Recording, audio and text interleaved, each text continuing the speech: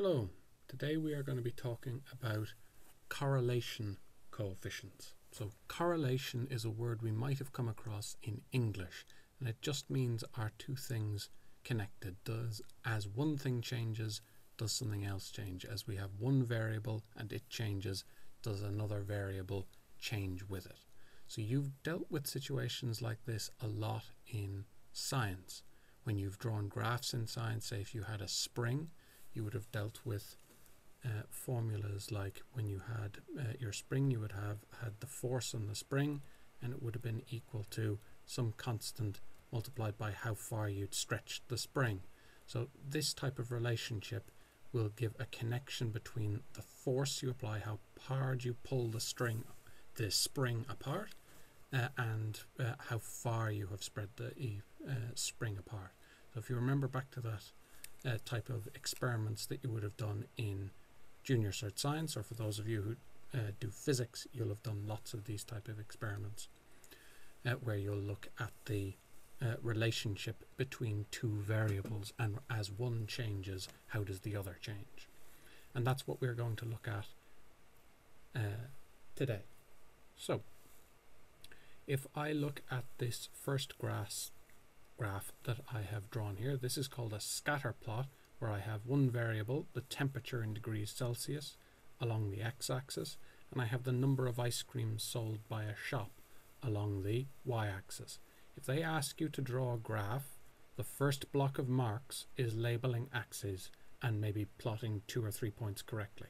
So labeling your axes clearly and plotting your points is dead easy way to uh, get your first block of marks if they ask a question like this and statistics is probably going to be quite important on the exam this year. They like to follow current events, and statistics is going to be very important in terms of the pandemic. So, we're talking about statistics, we're going to be eh, making sure that we're really thinking everything through because it is somewhat likely that they are going to look at it for the exam. Now, let's have a look at our scatter plot.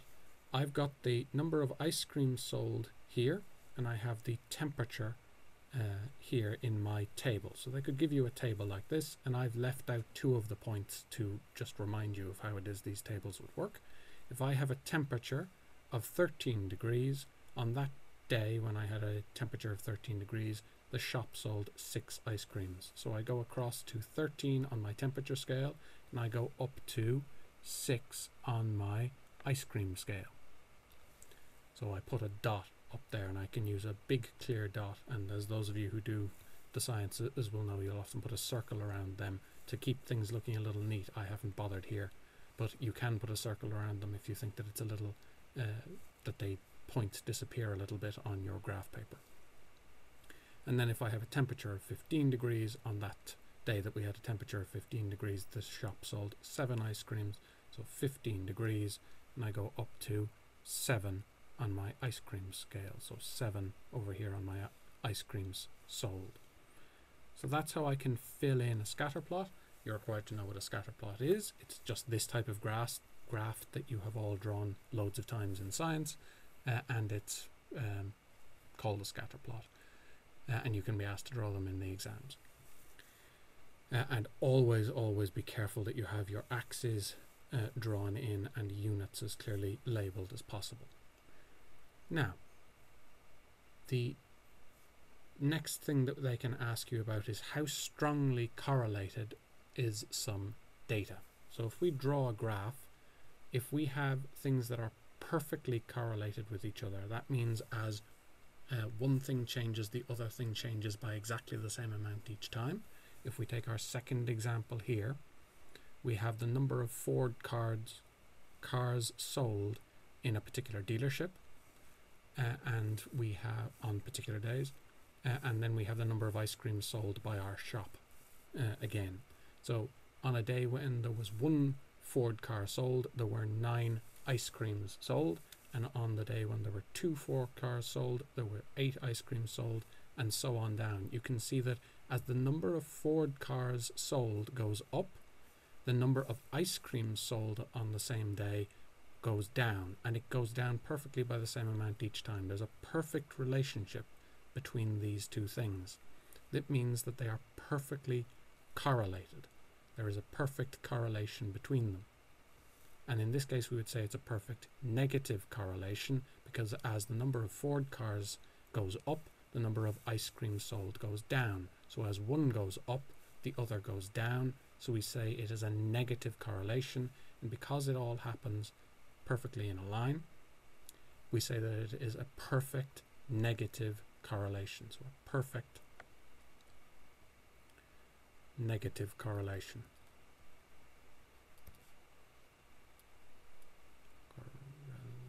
correlation. So perfect negative correlation is this situation here, whereas one thing goes up, the other thing goes down by the same amount each time. So you end up with a dead straight line from your graph. If I look at my original example here, as the temperature goes up, the number of ice creams sold kind of generally goes up, but you can see there are some hills and hollows to this. They're not all sitting in a perfectly straight line.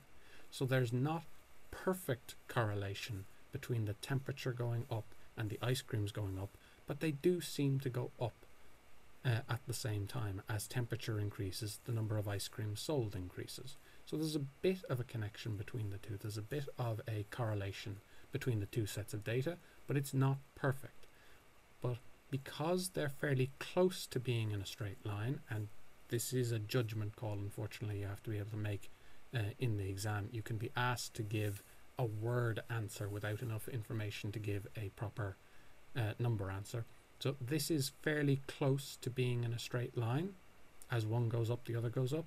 So we would say that it has a strong positive correlation because as one goes up, the other goes up, and it's a fairly reliable increase. So as the temperature goes up, the number of ice creams sold goes up by a fairly predictable rate.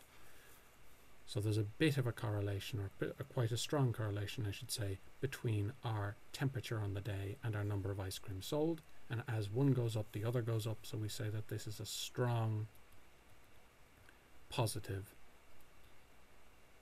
correlation.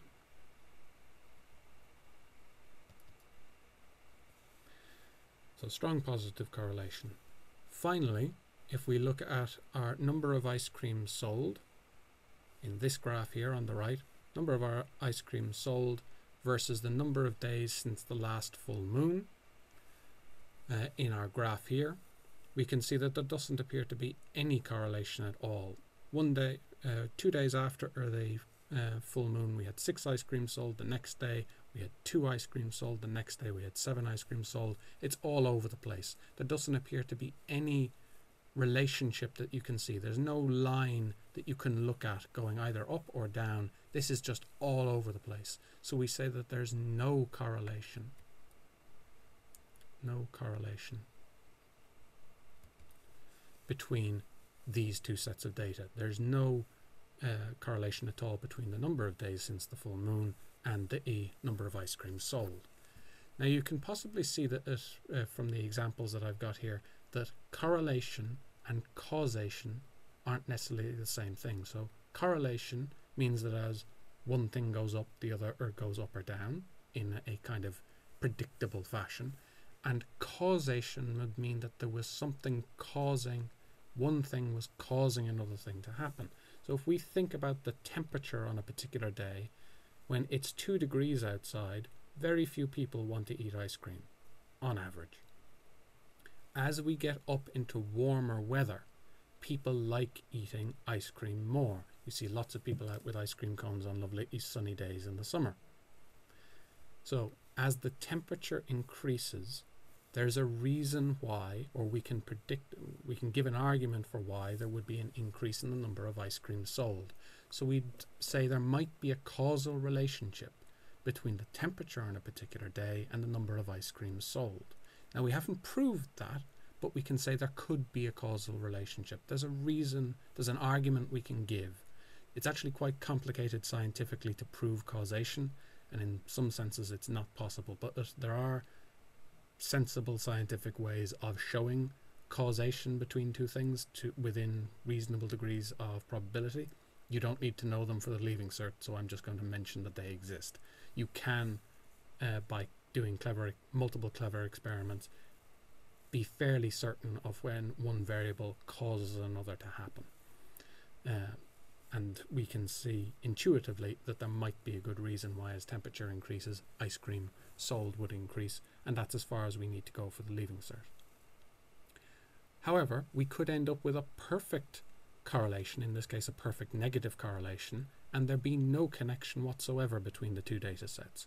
So if there's a dealership that sells Ford cars and uh, it's selling a particular number of cars, and we look at another, at an ice cream parlor, an ice cream shop, uh, and see how many ice creams they sell, there's no logical connection between those two things at all, or at least we've no reason to suspect there is, but we can still see a connection between our data in terms of a correlation. But there's no causal link. The number of Ford cars sold does not affect the number of ice creams sold. There's no causal link between the two things, even though there's a perfect correlation between the two things. So correlation and causation are not the same thing.